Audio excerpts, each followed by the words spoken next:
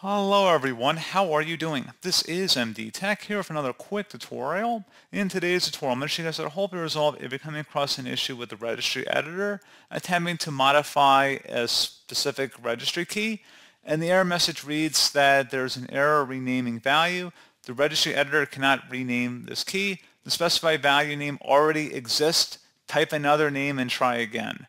So should hopefully be a pretty straightforward process here, guys. And without further ado, let's go ahead and jump right into it. So you might find a lot of random information about this issue online. It basically just means that if you go to the directory path of that registry key that you're trying to create, there's already one in there. So all you'd have to do is just delete that key and then create a new one. So pretty straightforward process. Or maybe you're making a mistake with your syntax and you just want to double check, make sure it's correct.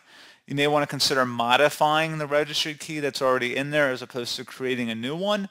And as always, you want to make a backup of your registry as well before you do anything in the registry.